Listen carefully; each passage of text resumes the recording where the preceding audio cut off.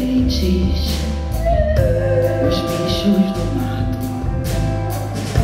o espelho da noite, a morte sem nome, marinhos que tombam forte, a luz do farol acesa a morte.